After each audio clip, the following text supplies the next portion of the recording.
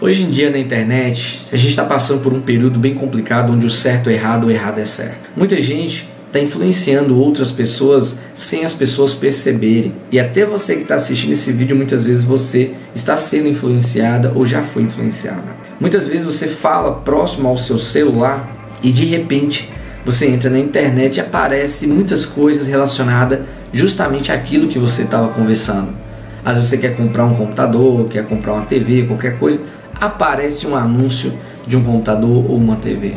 Ou seja, o sistema te manipula, te guia justamente pelaquilo que você está falando, não pelaquilo que você deveria escutar. Nem sempre as pessoas vão te falar o que você precisa ouvir, mas sim vão falar o que você quer escutar. Dessa forma, aquela pessoa que falou algo, ela se torna uma pessoa perfeita, uma pessoa compreensiva, uma pessoa que realmente te entende e você se identifica. Dessa forma, muita gente usa para manipular algumas pessoas para adquirir a confiança. Um aperto de mão, muitas vezes, é apenas para induzir e até a forma de apertar a mão. A forma de apertar a mão e pegar no ombro, a forma de olhar, a forma de sentar e conversar, a forma de abordar uma pessoa. Muitas vezes ali tudo tem uma certa indução que vai induzir as pessoas a fazer o que aquela outra pessoa está querendo, uma manipulação por trás. Nem toda imagem, nem todo áudio, nem tudo que você lê é realmente aquilo que você está lendo, vendo ou escutando. Por trás, muitas vezes tem uma mensagem subliminar, além de várias, inclusive filmes também tem muito isso. Filme brasileiro também tem bastante. Então toma muito cuidado no que você assiste, no que você vê, no que você lê. Por que, que eu estou falando isso? Porque na internet, cada dia que passa, está aumentando muito isso. As pessoas falando o que a maioria quer ouvir. Inclusive, a questão de falar mal de alguém. Você já reparou quando fala bem de alguém? Muita gente não dá confiança, não dá importância, mas quando você fala mal, automaticamente é impulsionado. Então, através disso, muita gente vai fazer o que? O mesmo. Vai induzir as pessoas a falarem mal, vai induzir muita gente a ser mal educada, vai induzir outras pessoas a ofender outras pessoas para poder lacrar, filmar e mostrar que fez algo. Ou seja, fazer o errado se tornar certo. Os jovens, muitos de hoje em dia, eles têm o livre arbítrio para fazer e falar tanta coisa que na minha época, quem aí é da década de 80, de 90, a criação é totalmente diferente de hoje em dia, muito diferente. E hoje em dia a gente vê aí vários se formaram, se tornaram advogados, professores. E hoje em dia muitos professores não podem nem corrigir mais o aluno, porque simplesmente tudo que fala pode gerar um processo. Então, se vai para escola e não pode ser educado, então quem vai educar? O mundo? Se o mundo está indo para um outro lado bem complexo, então hoje em dia está tudo complicado, está tudo mudado, mudado, mudado. Tem muitos vídeos que hoje em dia eu estou notando que tem algumas pessoas que fazem, até mesmo de jovens dançando, falando, dublando mas muitas vezes por trás daquele vídeo tem outro sentido.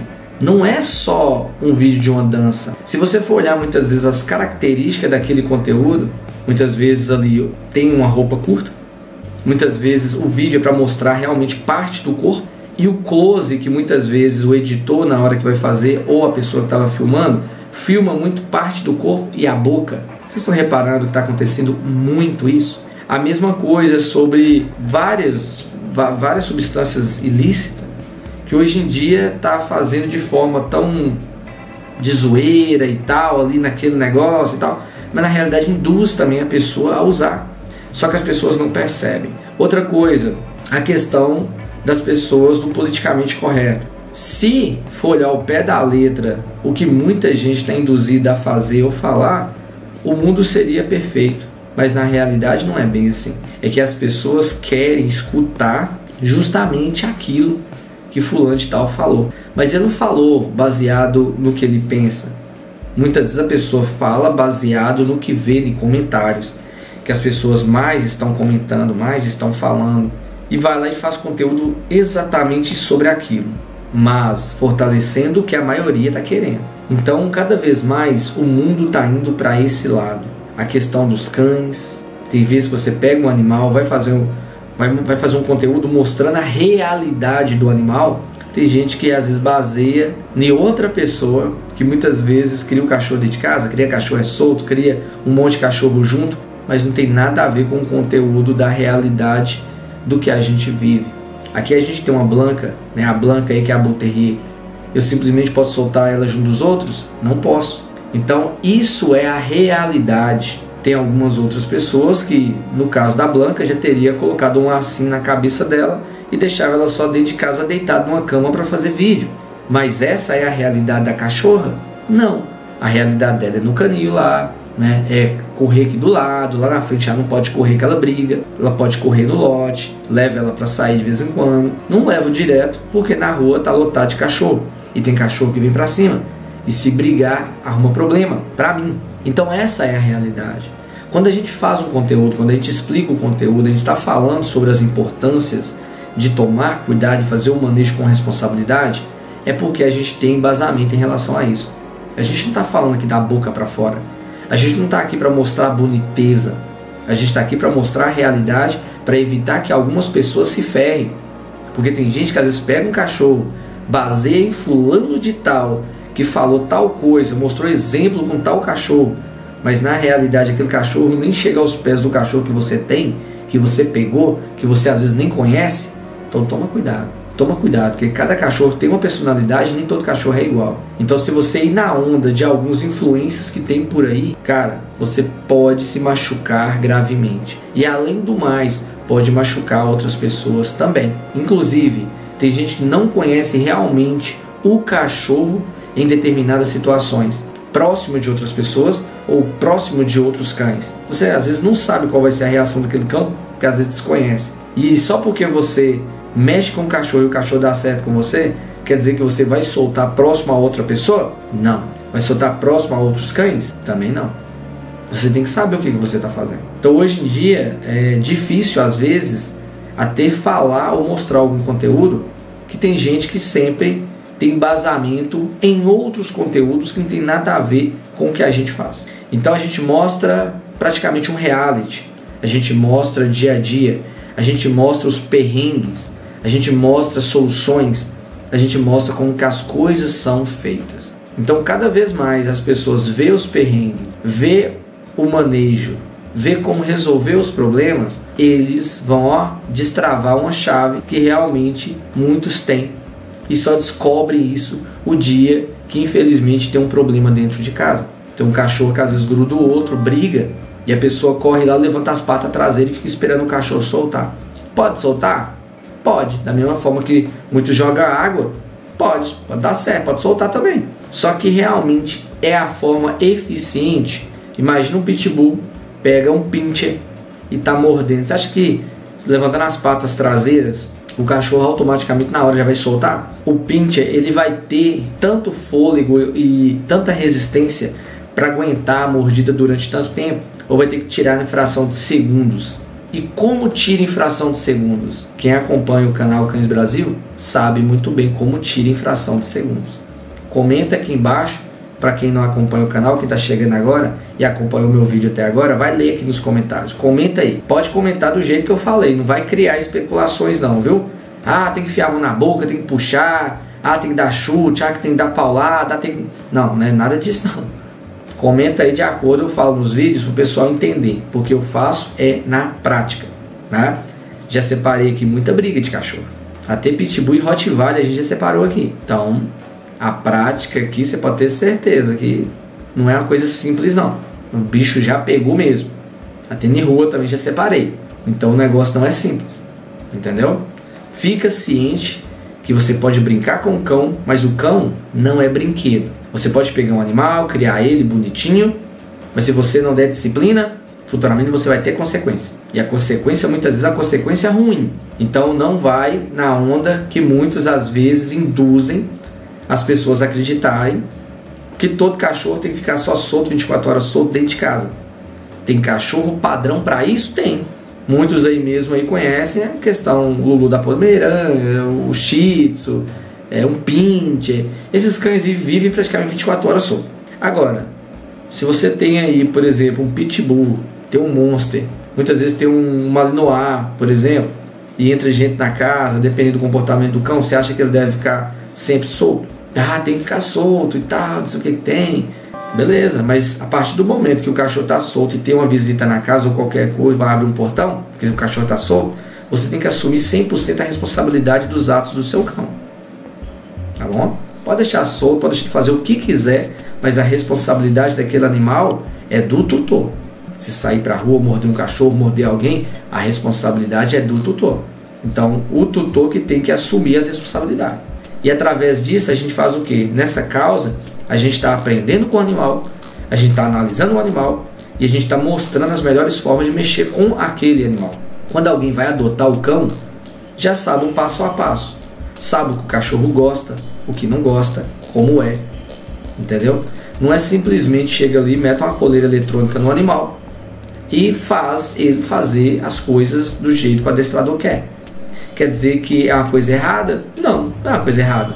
O adestrador que é profissional e sabe usar aquilo com responsabilidade, ele sabe tudo de forma que não vai machucar o animal de forma alguma. Só que infelizmente tem muitos que são irresponsáveis. E isso daí é complicado. Tem gente mesmo que para adestrar cachorro bate com pau. E tem a gente que dá até aula fazendo isso. E tem muita gente que aprende. Aí eu te pergunto, caramba, tudo é na brutalidade? Mas por quê? Porque quer o resultado rápido e não realmente o processo. Porque muitas vezes a pessoa cobra por diária, cobra por sessão. E aí tem que entregar logo, aí tem que adiantar o processo. Aí é difícil, né? Agora, no caso, quem vai naturalmente, mostrando tudo, como que é o animal, né? Os limites, os cuidados, como realmente se aproximar, o time, a questão do cambão, como usar com segurança. usei no cão lá. Tinha gente que falava que era maus trato usar um cambão. Ou seja, porque via o pessoal da carrocinha pegando o cachorro de qualquer jeito, levantava e tacava lá dentro. Ou seja, aquela imagem passa uma imagem negativa. E a remete, remete ali futuramente quando vê, já, já imagina que aquilo é errado. Mas é que a forma que a pessoa estava usando era uma forma errada. Então é isso. Passando aqui apenas para alertar vocês em relação. Tomem muito cuidado com o conteúdo que vocês assistem. Toma muito cuidado com o conteúdo que as suas crianças assistem, até mesmo desenho animado. Toma muito cuidado que tem hoje em dia até os desenhos animados são diferentes dos desenhos de antigamente. Pode ter certeza que é bem diferente. Na época mesmo, dos desenhos aí é, da década de 80 e 90, né? O tio Patinhas, é, a Mickey, é, a questão é, do pica-pau, né? Tem gente depois que eu falo que o pica-pau era isso, aquilo, aquilo outro. Os conteúdos de TV, que na época passava Chaves, né? Os Power Rangers, né? Dragon Ball. Então, tipo assim, eram os conteúdos bem diferentes de hoje em dia. Hoje em dia as crianças elas já brincam até mesmo dando é tiro, né? As músicas são impróprias, então daqui 10 anos, gente, se da mesma forma que os animais têm que passar por manejo para poder receber disciplina, tem muitas, muitas crianças que infelizmente têm que passar por manejo também. Quais seriam os manejos? Os pais prestar atenção nas músicas que, que os filhos estão tá escutando, o que está assistindo e o que está fazendo na internet, com quem está conversando, para onde que está indo, porque tudo isso está moldando aquela criança futuramente ser tudo aquilo que ela foi moldada. Então, futuramente, não reclame do que realmente foi o resultado, tá bom? Inclusive até mesmo na escola, até mesmo a questão aí de muitos que deveriam dar exemplo na escola hoje em dia tem uns que deixa a desejar. O pessoal fala, tomara que Jesus volte logo, mas pelo que eu estou vendo o mundo do jeito que está acontecendo, dá a impressão que já veio na Terra, já voltou e já foi. E nós foram os que ficaram. Porque o erro as coisas ruins está aumentando e se tornando cada vez mais normal hoje em dia. Então parece que já teve um arrebatamento e nós que ficamos aqui, porque não tem condição um negócio desse. Porque tem muita coisa que não deveria acontecer, tem muitas coisas aí que tá errado, você sabe que tá errado. E hoje em dia está sendo considerado certo. E, e até mesmo é, a questão dos administradores, né? O pessoal aí do próprio governo, tem muitos dentro aí que parece que fortalece para isso realmente continuar. O mundo mudou muito. Gente, fico por aqui. Um forte abraço e até o próximo vídeo. E comenta aí em relação a esse vídeo o que, que você achou. Acha que eu exagerei alguma coisa? Acha que eu estou falando coisa desnecessária? Comenta aí. Mas, é igual eu disse, fica de olho nas suas crianças, no que vê, no que lê e no que está escutando na internet. Certo? Tamo junto e até o próximo vídeo. Tchau, tchau.